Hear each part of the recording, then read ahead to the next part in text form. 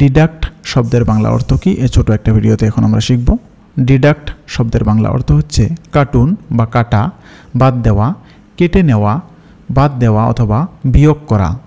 দুটো example sentence the mistakes deduct from the value of his book the mistakes deduct from the value of his book ভুলগুলো তার বইয়ের মূল্য থেকে বাদ দেয় অথবা ভুলগুলো তার বইয়ের মূল্য কমায়া দেয়।